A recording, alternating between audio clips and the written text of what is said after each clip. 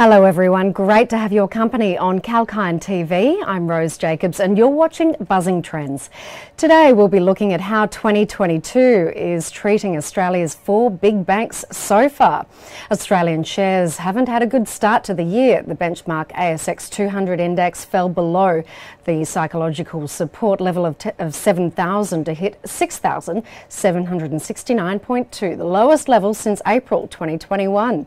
With the market bleeding heavily for the last few sessions, the Australian financial space, especially the banking sector, has also taken a hit.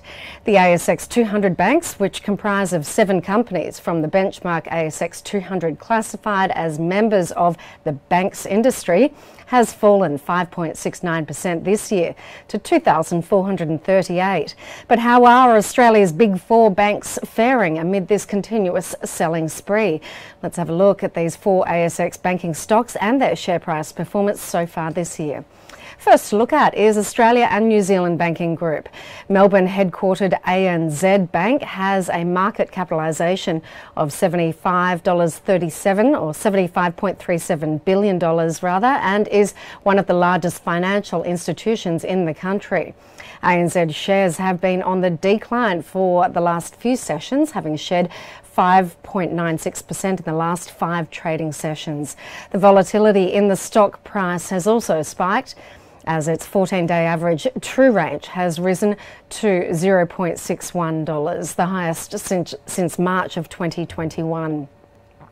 Average true range depicts the daily average move in a stock. However, there is a strong support around Australian 26.3 to 26.6 dollars on the charts, which has kept the stock from falling since March last year. The stock is currently trading at $27.06 per share.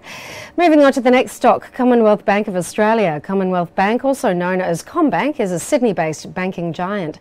It is the largest bank of Australia in terms of market capitalisation, which stands at $162.87 billion AU. The pandemic does not seem to have impacted the bank significantly as CommBank clocked revenue worth $24.5 billion and a net profit of $10.18 billion in financial year 21. However, the bank shares haven't been able to resist the market wide selling and fell in response. On Tuesday, 25th of January, CommBank stock fell 2.04%, with the highest one day volume for the year at over 5.8 million shares, depicting a wider market participa participation during the sell off. The stock is currently trading at $93.77 per share.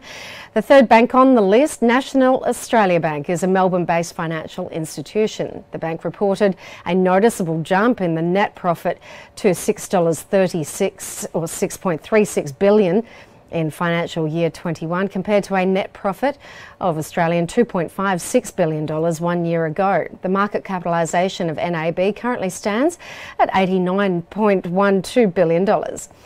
NAB shares have also witnessed liquidation from investors' portfolios in 2022.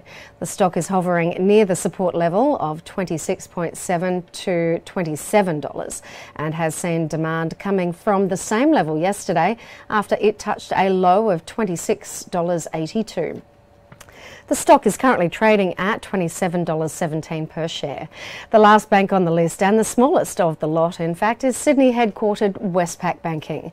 Westpac also did quite well in financial year 21, clocking a two times increase in net profit to $5.46 billion as against a net profit of $2.29 billion in financial year 2020.